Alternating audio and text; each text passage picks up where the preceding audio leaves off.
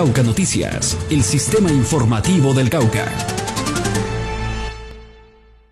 La Policía Metropolitana de Popayán se permite informar a la opinión pública que en la noche anterior, en atención a información suministrada por la comunidad y en una rápida reacción de nuestro cuadrante, se logra la incautación de más de 100 kilogramos de marihuana, así como la captura del ciudadano que la tenía en su poder y que la tenía también camuflada en costales que tenían plátano y hortalizas. Esta rápida acción de nuestra policía logra impactar el delito del microtráfico en la ciudad y con esto seguimos trabajando en favor de la juventud, en favor de la salud y en favor de los escenarios de tranquilidad y de convivencia en Popayán.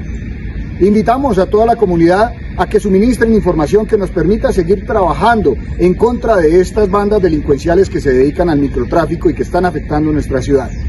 Es un honor ser policía. Cauca Noticias, el sistema informativo del Cauca.